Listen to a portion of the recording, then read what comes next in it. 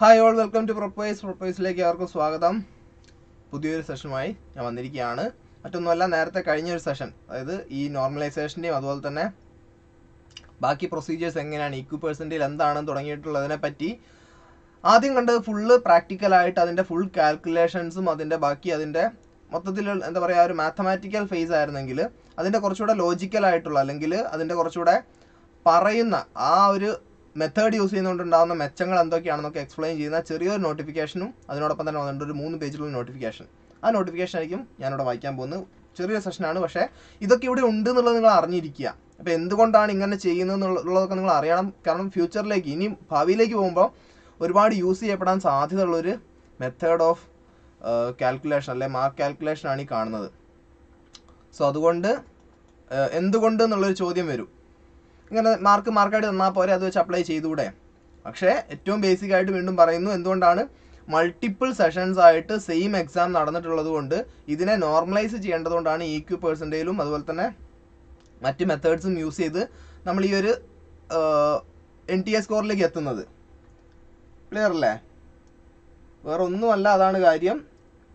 എല്ലാവർക്കും ഒരു level playing field അതായത് എല്ലാവർക്കും ഫെയർ ആവുക എന്നുള്ള ഉദ്ദേശത്തോടു കൂടി ഇതിൽ തന്നെയും പല പ്രശ്നങ്ങളും ഉണ്ട്. പക്ഷെ അതൊക്കെ ബാക്കി ഇപ്പം നിലവിലുള്ളതിൽ ഏറ്റവും ഫെയർ ആയിട്ട് ചെയ്യാൻ പറ്റുന്ന ഒരു മെത്തേഡാണ് ഈ പറഞ്ഞിരിക്കുന്ന ഇക്യു പെർസെന്റേജ് ഓക്കെ അപ്പം നോക്കുക. ഇരുപത്തേഴ് ഡിഫറെന്റ് സബ്ജക്ട്സ് അത് തന്നെ മൾട്ടിപ്പിൾ ഡേയ്സ് എക്സാമായി നടത്തി. പലരുടെയും പെർഫോമൻസ് പല ഡേയ്സിലും ഇപ്പം ഒരു കുട്ടിയുടെ ബെസ്റ്റ് പെർഫോമൻസ് ഒരു ടഫ് ഡേ അല്ലെ ടഫ് എക്സാം ഉള്ള ദിവസമാണെങ്കിൽ മറ്റൊരു കുട്ടിയുടെ അല്ലെ ഒരു എബവ് ആവറേജ് കുട്ടിയുടെ അല്ലെങ്കിൽ ഇപ്പം അന്നേ ദിവസം അത്യാവശ്യം നല്ലപോലെ എഴുതിയൊരു കുട്ടിക്ക് ഉള്ള പെർഫോമൻസിനേക്കാളും മോശമായേക്കാം. നല്ലപോലെ പ്രിപ്പയർ ചെയ്തിട്ടുണ്ടെങ്കിൽ തന്നെയും. കാരണം ക്വസ്റ്റ്യൻ പേപ്പർ ആ ദിവസം കുറച്ച് ഡിഫിക്കൽട്ടായിരുന്നു മറ്റേ ദിവസം കുറച്ച് ഈസി ആയിരുന്നു. അപ്പോൾ ഇതെല്ലാം ഒന്നുകൂടെ ഒരുമിപ്പിക്കുക. അതായത് എല്ലാവർക്കും ഫെയർ ആക്കുന്ന രീതിയിൽ. കാരണം ഇവർ ആഗ്രഹിച്ചിട്ടല്ല ക്വസ്റ്റ്യൻ പേപ്പർ രണ്ട് ദിവസം വന്നത്. എന്റെ ചോയ്സ് മൂലമാണെങ്കിൽ പറയാം. പക്ഷേ ഇത് എൻ ടി എ തീരുമാനിച്ച് വെച്ചിട്ടാണ് ഇങ്ങനെ നാല് ദിവസവും നാൽപ്പത് ദിവസമായിട്ടും പരീക്ഷ നടത്തിയത്. അപ്പോൾ അങ്ങനെ ആകുമ്പോൾ അവർ ചെയ്യേണ്ട ഒരു കാര്യമാണ് ഇങ്ങനെ ഒരു ഒരു ഈക്വൽ ഫീൽഡിലേക്ക് അല്ലെങ്കിൽ ലെവൽ പ്ലേയിങ് ഫീൽഡിലേക്ക് ആൾക്കാരെ കൊണ്ടുവരിക കുട്ടികളെ കൊണ്ടുവരിക എന്നുള്ളത്.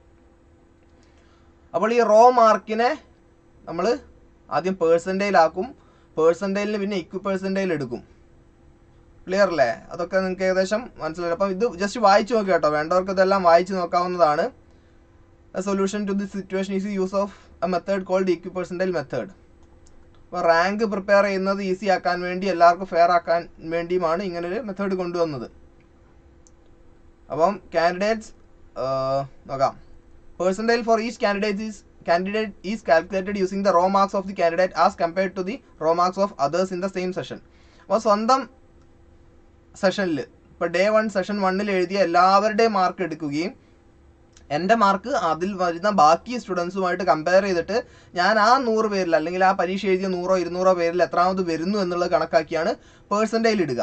അപ്പം പലപ്പോഴും പരീക്ഷയിൽ പേഴ്സന്റേജിൽ കിട്ടിയെന്ന് വെച്ച് കഴിഞ്ഞാൽ നിങ്ങൾ ടോപ്പ് വന്നു എന്നുള്ളതേ അർത്ഥമുള്ളൂ. അപ്പോൾ നൂറ് പേഴ്സന്റിൽ എന്ന് വെച്ച് കഴിഞ്ഞാൽ നൂറ് പരീക്ഷയുടെ മാർക്കിൽ നൂറ് മാർക്ക് കിട്ടണമെന്നില്ല. നൂറ് പരീക്ഷയുടെ മാർക്കിൽ നൂറ് മാർക്കിന്റെ പരീക്ഷയിൽ സോറി നൂറ് മാർക്കിന്റെ പരീക്ഷയിൽ നിങ്ങൾക്ക് എൺപതാണ് കിട്ടുന്നത്. പക്ഷേ നിങ്ങൾ എൺപതിനേക്കാളിലും മേലെ വേറൊരാൾക്കും ഇല്ല എന്നുണ്ടെങ്കിൽ നിങ്ങളുടെ പേഴ്സന്റേജിൽ നൂറാണ് വരിക. ക്ലിയർ അല്ലേ? ഇനി ബാക്കി കാര്യങ്ങൾ ഈക്വൽ പേഴ്സന്റേജ് കഴിഞ്ഞു. അങ്ങനെയാണ് നോർമലൈസ് ചെയ്യുന്നത്. ഇതിന് നാല് സ്റ്റെപ്പ് ഉണ്ട്. ആദ്യ സ്റ്റെപ്പ് എന്താണ്? Raw marks of the students in different shift using raw marks of the students in the different shift calculate the percentage of student in each shift അപ്പോൾ raw marks വെച്ചുകൊണ്ട് ഓരോ ഷിഫ്റ്റിലെയും പേഴ്സന്റേജ് കാൽക്കുലേറ്റ് ചെയ്യുന്നു. പിന്നെയാണ് അതിനെ എന്ത് ചെയ്യുന്നത്? ഇതൊക്കെ ഞാൻ പറഞ്ഞ കാര്യങ്ങൾ തന്നെയാണ് ഇപ്പം. ഓക്കെ ഇതൊക്കെ ഞാനിപ്പോൾ പറഞ്ഞ കാര്യങ്ങളാണ്. എങ്ങനെയാണ് പേഴ്സന്റേജ് കാൽക്കുലേറ്റ് ചെയ്യുന്നത്? അങ്ങനെ ഈ പേഴ്സന്റേജിലെ ഡിസെൻഡിങ് ഓർഡറിൽ അതായത് ആദ്യം നൂറ് കിട്ടിയ ആളാണ് ഉണ്ടാവുക. പിന്നെ തൊണ്ണൂറ്റൊമ്പത് തൊണ്ണൂറ്റെട്ട് തൊണ്ണൂറ്റേഴ് തൊണ്ണൂറ്റേഴ് പോയിന്റ് തൊണ്ണൂറ്റെട്ട് പോയിന്റ് തൊണ്ണൂറ്റൊമ്പത് പോയിന്റും തുടങ്ങിയിട്ടും ഏഴ് ഡെസിമൽ വരെ അങ്ങോട്ടും കാൽക്കുലേറ്റ് ചെയ്യാവുന്നതാണ്. One two three four five six seven ninety nine point one two three four five six seven അത്രയും വരെ കാൽക്കുലേറ്റ് ചെയ്ത് വെക്കുന്നുണ്ട്. കാരണം ചെറിയ സ്കോർ പോലും വലിയ വ്യത്യാസം ഉണ്ടാക്കുന്ന ഒരു പരീക്ഷയാണ് C U T U G ഇനി അത് അറേഞ്ച് ചെയ്യും. ഞാൻ പറഞ്ഞു ഡിസെൻഡിങ് ഓർഡറിൽ അറേഞ്ച് ചെയ്യും ആ കിട്ടിയിരിക്കുന്ന പേഴ്സന്റൈൽസ് എന്നിട്ട് ലീനിയർ ഇന്റർപോളേഷൻ യൂസ് ചെയ്തിട്ടാണ് ബ്ലാങ്ക് ആയിരിക്കുന്ന ടേബിൾ അപ്പോൾ ഇതിൽ raw marks in shift one അപ്പോൾ ഷിഫ്റ്റ് വൺ എഴുതിയവരുണ്ടാവും ഷിഫ്റ്റ് ടു എക്സാം എഴുതിയവരുണ്ടാവും. അപ്പോൾ ഇതിനെല്ലാം കറക്റ്റ് മാർക്ക് ഇട്ട് കൊടുത്താൽ മാത്രമേ നമുക്ക് എന്ത് ചെയ്യാൻ പറ്റുള്ളൂ? ഈ ഫൈനൽ എൻ ടി എ സ്കോറിലേക്ക് എത്താൻ പറ്റുള്ളൂ. ഈ പറഞ്ഞിരിക്കുന്ന ഇക്വ പെർസെന്റേജിലും ഇന്റർപോളേഷനും ഒക്കെ വെച്ച് നമ്മൾ ആ മാർക്കിലേക്ക് എത്തണം. ആ സ്കോറിലേക്ക് എത്തണം എന്നുണ്ടെങ്കിൽ ഒരു ദിവസത്തെ മാർക്ക് മാത്രം പോരാ. അത് മറ്റുള്ള ദിവസങ്ങളിലെ ഈ പറഞ്ഞിരിക്കുന്ന പേഴ്സന്റേജുമായിട്ട് കമ്പയർ ചെയ്ത് ഒരു ആവറേജിലേക്ക് നമ്മൾ എത്തും സോ കംപ്ലീറ്റ് ട്വന്റി ഡേയ്സ് ഉണ്ടെങ്കിൽ ആ ട്വന്റി ഡേയ്സിൽ നമുക്കൊരു മാർക്ക് കറസ്പോണ്ടിങ് മാർക്ക് തന്നിട്ട് അതിനെ എത്ര ഡേയ്സ് ഉണ്ടോ? അപ്പോൾ ട്വന്റി എന്ന് പറയുമ്പോഴത്തേക്ക് ആ ടോട്ടൽ മാർക്സ് ബൈ ട്വന്റി ആയിരിക്കും എന്ത്? നമ്മുടെ എൻ ടി എ സ്കോർ ആയിട്ട് വരിക. ക്ലിയർ ആണെന്ന് കരുതുന്നു. അത് കൃത്യമായിട്ട് പറയുന്ന കുറെ കൂടെ എഴുതി കാണിച്ച് നമുക്ക് മനസ്സിലാക്കി തരുന്ന ഒരു നോട്ടിഫിക്കേഷനാണ് അപ്പോൾ നിങ്ങൾക്കത് വായിക്കണം. അപ്പോൾ ഇതിന്റെ പിന്നിലെ കാര്യമുണ്ട്. നോക്കുക. The score card of a candidate will have percentage and normalised mark അപ്പോൾ നിങ്ങൾക്ക് ഈ N T A score card കിട്ടുമ്പോൾ അതിൽ പേഴ്സന്റേലും ഉണ്ടാവും. അപ്പോൾ നിങ്ങൾക്ക് അറിയാം ഓരോ സബ്ജക്ട്സിലും നിങ്ങൾ എത്ര അടിപൊളിയായിട്ട് പെർഫോം ചെയ്തു എന്നുള്ളത് നിങ്ങൾക്ക് മനസ്സിലാക്കാൻ സാധിക്കും. അതുപോലെ നോർമലൈസ്ഡ് മാർക്ക് എന്ന് പറയുന്നത് എൻ ടി എ സ്കോറാണ് എല്ലാവിധ നോർമലൈസേഷന്റെ പ്രൊസീജിയേഴ്സും കഴിഞ്ഞ് നിങ്ങൾക്ക് കിട്ടുന്ന ആ ഒരു സ്കോറാണ് എൻ ടി എ സ്കോർ അപ്പോൾ എൻ ടി എ സ്കോറും ഉണ്ടാവും. നിങ്ങളുടെ ഓരോ സബ്ജക്റ്റിലും ഓരോ ഡൊമൈനിലും ഓരോ എക്സാമിലും നിങ്ങൾക്ക് കിട്ടിയ പേഴ്സന്റേജും നിങ്ങൾക്ക് കാണാൻ സാധിക്കും. Universities need to use the normalised marks given in the score card for preparing the rank list for admissions universities എല്ലാം യൂസ് ചെയ്യാൻ പോകുന്ന ഈ നോർമലൈസ്ഡ് മാർക്കാണ് അഥവാ എൻ ടി എ സ്കോറാണ് റാങ്ക് ലിസ്റ്റ് പബ്ലിഷ് ചെയ്യാൻ വേണ്ടിയിട്ട് നോർമലൈസ്ഡ് മാർക്ക് കാരണം അത് അടുക്കി വെച്ചാൽ മാത്രം മതി. കൃത്യമായിട്ട് ഒരൊറ്റ മാർക്ക് ഉണ്ടാവും അതിൽ ഇപ്പോൾ നൂറിലാണെങ്കിൽ തൊണ്ണൂറ്റൊമ്പത് പോയിന്റ് അഞ്ച് എന്ന് പറയുകയാണെങ്കിൽ അത് കറക്റ്റ് അത്രയാണ്. അല്ലാതെ എല്ലാവർക്കും തൊണ്ണൂറ്റൊമ്പത് പോയിന്റ് അഞ്ച് കാരണം അഞ്ച് ഒരേ മാർക്ക് വരാനുള്ള സാധ്യത അത്രയും കുറവാണ്. ഏഴ് ഡെസിമൽ അങ്ങോട്ട് പോകുന്നുണ്ട്. ഇപ്പോൾ ഇപ്പം ഒന്ന് one two three four five six seven ആണ്. മറ്റേത് one two three four five six seven sorry one two three four five six eight ആണെന്ന് കരുതുക. സിക്സ് എയ്റ്റ് ഉള്ളതായിരിക്കും എന്തുകൊണ്ടും മറ്റുള്ള റാങ്കിനേക്കാളും മുന്നിൽ വരിക അല്ലേ? അപ്പം ആ രീതിക്ക് റാങ്ക് ചെയ്യാൻ പാകത്തിനാണ് ഇത് വെച്ചിരിക്കുന്നത്. ഇനി above method is based on the work ഈ പറഞ്ഞിരിക്കുന്ന മെത്തേഡൊക്കെ അപ്പോൾ ഇത് ഇങ്ങനെ ആക്കിയതിന് പിന്നിൽ അപ്പോൾ ഇത് ഫെയർ ആവുന്നുള്ള രീതിക്കാണ് ഇത് ചെയ്തിരിക്കുന്നത്. അപ്പോൾ ഇങ്ങനെ ആക്കിയതിന്റെ പിന്നിൽ ഒരു പേപ്പറാണ്. ഒരു പേപ്പർ എന്ന് വെച്ച് കഴിഞ്ഞാൽ നമ്മൾ പേപ്പർ എസ്റ്റാബ്ലിഷ് ചെയ്യല്ലോ. അതായത് സോറി എസ്റ്റാബ്ലിഷ് അല്ല പബ്ലിഷ് ചെയ്യുക. പേപ്പർ നമ്മൾ പബ്ലിഷ് ചെയ്യും. പി എച്ച് ഡി ഒക്കെ കഴിയുമ്പോഴത്തേക്ക് അല്ല പി എച്ച് ഡി ചെയ്തുകൊണ്ടിരിക്കുമ്പോൾ പി ജി ചെയ്തുകൊണ്ടിരിക്കുമ്പോൾ ഒക്കെ നമുക്ക് പേപ്പർ പബ്ലിഷ് ചെയ്യാം. യു ജി ചെയ്യുമ്പോഴും ചെയ്യാം കേട്ടോ പക്ഷേ അത്ര കോമൺ അല്ല. അപ്പോൾ അബയ് ജി ഭട്ട് എന്റെ പേര് തന്നെയാണ് പക്ഷേ ഞാനല്ല. Abhay G Bhat current science എന്നുള്ള ഒരു ജേണലിൽ എന്റെ വോളിയം നൂറ്റി പതിനെട്ടാം പതിപ്പിൽ ജാനുവരി ടു തൗസൻഡ് ട്വന്റിയിൽ കൊടുത്തിട്ടുള്ള ഒരു ഒരു എന്താ പറയുക അദ്ദേഹത്തിന്റെ ഒരു പുതിയ മെത്തേഡാണിത്. അപ്പോൾ ഇങ്ങനെ ഒരുപാട് സെഷൻസ് ആയി നടക്കുന്ന ഒരു പരീക്ഷയ്ക്ക് എങ്ങനെ നോർമലൈസ്ഡ് മാർക്ക് ഏറ്റവും ഫെയർ ആയിട്ടുള്ള രീതിയിൽ കണ്ടെത്താം എന്നുള്ളതിൽ ഒരു വർക്ക് ചെയ്തിട്ടുള്ള വ്യക്തിയാണ് ഈ അഭയ്ജി ഭട്ട്. അദ്ദേഹത്തിന്റെ വർക്ക് ബേസ് ചെയ്തിട്ടാണ് C U T U G two thousand twenty two ഈ രീതിക്ക് ഇ ക്യു പേഴ്സന്റെ അതുപോലെ തന്നെ ഇന്റർപൊളേഷൻ മെത്തേഡൊക്കെ വെച്ച് നോർമലൈസ് ചെയ്യപ്പെടുന്നത്. ക്ലിയർ ആണേ ഇതാണ് ഏറ്റവും ഏറ്റവും ബേസിക് ആയിട്ട് ഇത്രയും നിങ്ങൾ മനസ്സിലാക്കിയാൽ മതി.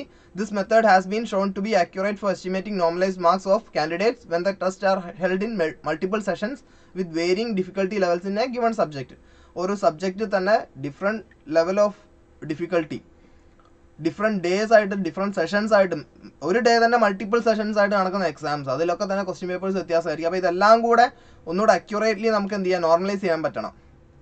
അതിന് സഹായിക്കുന്ന ഒരു മെത്തേഡാണ് ഈ പറഞ്ഞിരിക്കുന്ന. നോർമലൈസിങ്ങിന് യൂസ് ചെയ്തിരിക്കുന്ന